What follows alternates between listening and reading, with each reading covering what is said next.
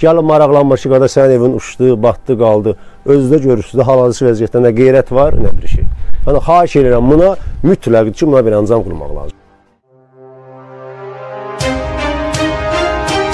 Kanalımıza müraciət edən Səbrabad rayon Rüstəmli kənd sakini Seymur Sərhədov bildirir ki, Rüstəmli kənd bələdiyyəsi tərəfindən sakinlərin əkin sahələrinin suvarılması məqsədi ilə suyun istiqaməti əkin sahələrinə yönəlib. Şikayətçi deyir ki, elə bundan sonra onun evinə və əkin sahəsinə su dolub.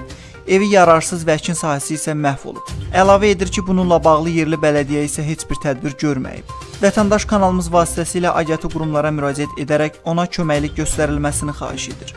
Daha ətraflı şikayətçinin öz dilindən eşidir. Hal-hazırda vəziyyətdə mənim şikayətim bununla bağlıdır. Bu gördüyünüz bu su bu bələdiyyə sədrinin ucbatından olub. 3 gün bundan qabaq mən zəng eləyərəm, müraciət elədim ki, Qeyrət müəllim, gəlin ora bir əncam qulun. Gələcəm, gələcəm, gəlmədi. Bu hal-hazırda ev eşi qaldı suyun altında. Bu gün də gəlmir, sabah da gəlməyəcək. O adam heç belə hiss eləmir ki, gəlin maraqlanmır ki, qardaş sənin evin uçdu, batdı, qaldı.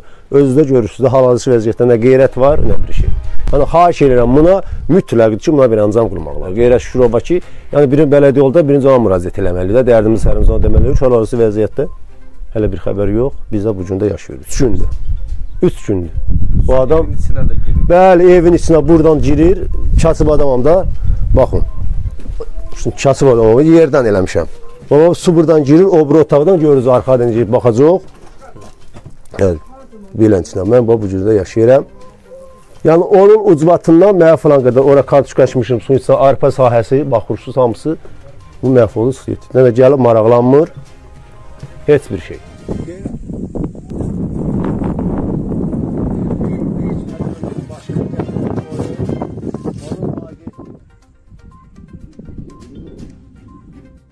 Kanal 13 olaraq məsələ ilə bağlı Sabirabad rayon Rüstəmli kənd bələdiyyəsi ilə əlaqə saxlayıb məsələyə aydınlıq gətirmək istədik. Deməli orada o həmin ərazidə Rüstəmli kəndində biraz su qıtlığı var orada uzun illər, 3-4 illər. Yəni aradan gəlir oradan su, e, əkin sahələrini su ara bilmirlər cəmaət. Ona görə hər il o kəndi Rüstəmli kəndinin qarşı tərəfində kollektor var. Aha. Böyük kollektordur. Şos kollektordur. Deməli o saat tərəfdən gəlir. Onu hər il o kənd cəmaəti özləri ha. E, onun qabağını bağlayırlar texnika ilə. Burada sular yığılır orada kollektorlara, o köməkçi kollektora deyir də biz, drenaj kollektora.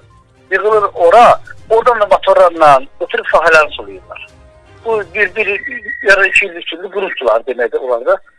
Hə, bu illərdə yenə o deyirlər, siz yox, bələdiyyə mənə bələdiyyə orada cəmaat özü bağlayır buna. Yığışır cəmaat, tenkallar orada üstəndə.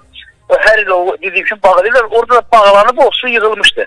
Mən elə başda hər gün o, o zonada oluram, bu motor qurur bu kənd cəmaəti üçün paytadan sulamağa. Bəs vətəndaşın hazırda evinə ziyan dəyib də onun evi yəni demək olar ki, qəzalı vəziyyətə düşüb də suyun gəlməsi səbəbilə bununla bağlı bəs hansı tədbirlər görüləcək?